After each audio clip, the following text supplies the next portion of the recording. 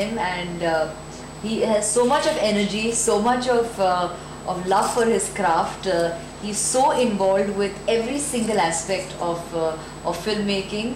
Uh, in fact, uh, one would always say when you're doing a song, generally the dance director takes over and his whole team, which you know has been absolutely wonderful. But Harish has been there and made sure that he, he was overlooking every aspect of, of the song and uh, an absolute delight to, to work with. He would uh, make sure that I was comfortable and easy with, with every step, with every movement that was that was given to me. And uh, well, all I can say is that uh, Gabbar Singh is uh, Gabbar Singh is KOKK, and I, I would suggest everybody out there watch the film.